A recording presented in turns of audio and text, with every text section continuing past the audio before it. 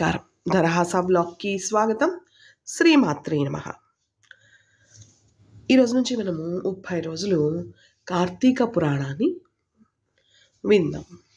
క్లాంబరధరం విష్ణుం శశివర్ణం చతుర్భుజం ప్రసన్నవదనం ధ్యాయేత్ సర్వ విఘ్నోపశాంతయే శ్రీరాముని దయవల్ల పూర్వకాలంలో ఒకసారి మహర్షులైన సౌనకాదులు సూత పౌరా పౌరాణికుని చూచి ఓ మహాత్మా మాకు కార్తీక మాహత్యం వినాలనే సంకల్పం కలిగింది. దయతో చెప్పమని అడిగారు. సూతుడు వారి కోరికను మంచి సంతోషంతో ఈ కార్తీక మాస మాహత్యాన్ని వివరించడం మొదలుపెట్టారు. పూర్వము జనక మహారాజునకు వశిష్ఠుల వారు నారద మహర్షికి బ్రహ్మదేవుడు పార్వతికి శివుడు లక్ష్మీదేవికి విష్ణుమూర్తి ఉపదేశించారు. ఈ కార్తీక మాస మహిమను వినటం వల్ల అనేక జన్మలలో చేసినటువంటి పాపాలు కూడా హరించిపోతాయి. సావధానముగా వినవలసింది అంటూ వ్రత విధానాన్ని చెప్పడం మొదలుపెట్టారు. ఒకసారి వశిష్ఠ మహర్షి సిద్ధాశ్రమానికి వెళుతూ మార్గమధ్యంలో విశ్రాంతి తీసుకోవాలని కోరిక కలగడం వల్ల మిథిలా నగరంలో ఆగారు. ఆ నగరాన్ని పాలిస్తున్నటువంటి జనక మహారాజు తన నగరంలో విడి విడిది చేస్తున్నటువంటి వశిష్ఠుల వారిని పిలిచి తగిన సత్కారాలు చేసి తన అదృష్టానికి మురిసిపోతూ వశిష్ఠుల వారికి భక్తితో నమస్కరిస్తూ స్వామి మీరు రావడం వల్ల మా జన్మ తరించింది. మా పెద్దలందరూ తృప్తి చెంది ఉంటారు. గృహస్థులైన వారికి మీ వంటి మహర్షుల దర్శన భాగ్యం లభించడం అనేది చాలా అరుదుగా కలుగుతుంది. ఎన్నో జన్మల పుణ్యఫలం వల్ల కానీ మీ వంటి వారి దివ్య దర్శన భాగ్యం కలగదు. తమ రాక వల్ల ఎన్నో శుభాలు కలుగుతాయి. తమరు వచ్చిన కారణం చెప్పి నన్ను అనుగ్రహించు అని అడిగారు. జనక మహారాజు యొక్క వినయ విధేయతలకు ఆప్యాయతలకి ఆనందిస్తూ వశిష్ఠుల వారు మందహాసంతో నాయన నీకు తప్పక మేలు జరుగుతుంది. సిద్ధాశ్రమంలో జరుగుతున్నటువంటి యజ్ఞానికి వెళుతున్నాను. నీవు ఆ యజ్ఞానికి కావలసినటువంటి సామాగ్రి ఇస్తామని వచ్చానని పలికిరి. వశిష్ఠుని మాటలు విన్నటువంటి జనక మహారాజు సంతోషంతో మహాత్మ దానము చేయనటువంటి ధనం అనేది నశిస్తుంది. అందువల్ల ధనమును దానం వల్లే కాపాడుకోవాలి. తమరు కావలసినంత ధనాన్ని తీసుకొని వెళ్ళగలరు. మీ ఆజ్ఞని శిశావహిస్తాను. తమకు అన్ని ధర్మాలు తెలిసినవి. వినేవాళ్ళకు పాపాలు పోగొట్టగల మాహత్యం కలిగినటువంటి కథ చెప్పమని కోరుతున్నాను. మాసాలన్నింటిలోనూ కార్తీక మాసం అంటే ఎంతో గొప్పదని పెద్దలు చెబుతూ ఉంటే విని ఉన్నాను ఆ మాసానికి మరి అంత గొప్పతనం ఏ విధంగా కలిగిందో చెప్పవలసిందిగా కోరుచున్నానని. ఆయన వశిష్ఠుల వారిని అడిగారు. జనకుని కోరిక మన్నించినటువంటి వశిష్ఠుల వారు కార్తీక మాస మాహత్యం చెప్పడం ప్రారంభించారు. జనక మహారాజా వినేవారి పాపాలు పోగొట్టి పుణ్యాలు కలిగించే కార్తీక మాహత్యం గురించి చెబుతాను. సావధానంగా విను. పూర్వజన్మలో చేసినటువంటి మంచి వల్ల సత్యశుద్ధి అనేది కలుగుతుంది. సూర్యుడు తులారాశిలో సంచారం చేసే కాలాన్ని కార్తీక మాసం అని అంటారు. ఆ మాసాన పరిశుద్ధమైన మనస్సుతో స్నాన జపాదులు కావించి పితృశార్థం అలాగే దేవతార్చనలు మొదలైన వాటిని చేసిన వాళ్ళు పొందే ఫలాలు ఎక్కువగా ఉంటాయి.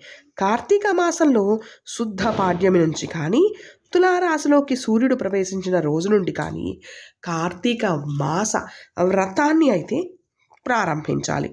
సూర్యోదయం ముందుగానే కార్తీక స్నానం చేయాలి. స్నానానికి సంకల్పం చేసుకునేటప్పుడు ఓ దామోదరా నేను చేయబోయే కార్తీక వ్రతము నిర్విఘ్నంగా నెరవేర్చు తండ్రి నీకు నమస్కారము అని సంకల్పించాలి. సూర్యుడు తులారాశిలో సంచారం చేసే కాలం మూడు లోకాలని పావనం చేసే గంగా మాత అన్ని చోట్ల నీటి రూపంలో ఎక్కడెక్కడైతే నీరుంటుందో ఆ నీళ్ళలో గంగామాత నిండి ఉంటుంది.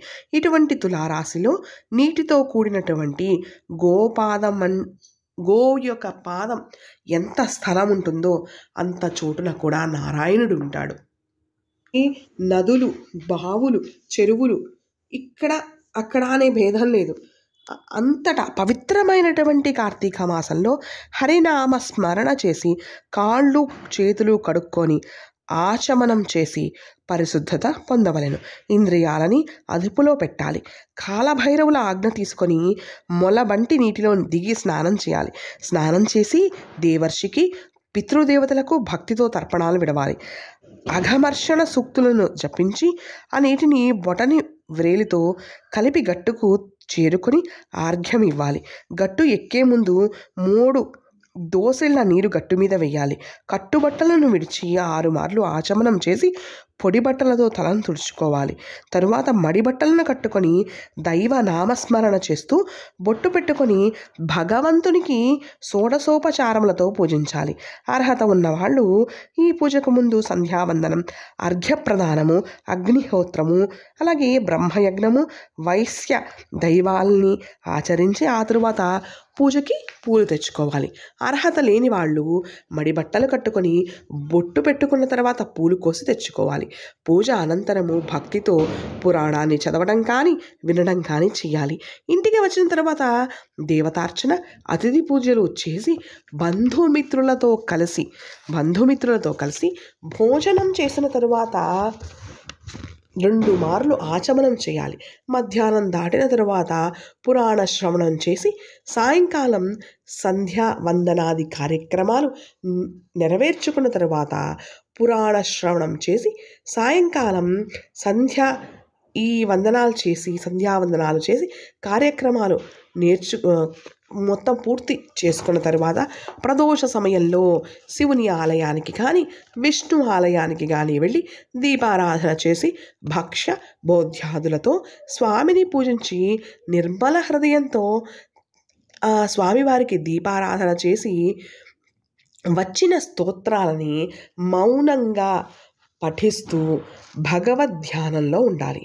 ఈ విధంగా కనుక నెల రోజులు కార్తీక మాసం అంటే ఈ కార్తీక మాసంలో నెల రోజులు ఈ విధంగా చేస్తే కార్తీక వ్రతం అనేది పూర్తవుతుంది. ఈ వ్రతం చేయడం వల్ల మోక్షం కలుగుతుంది.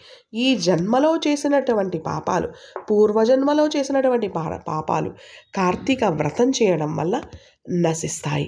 క్షత్రియ వైశ్య శూద్రులు కానీ స్త్రీలు కానీ బ్రాహ్మణ్యులు కానీ కార్తీక వ్రతం చేయడం వల్ల విష్ణు భక్తులు విష్ణులోకాన్ని శివ భక్తులు శివ సాయుధ్యాన్ని పొందుతారు.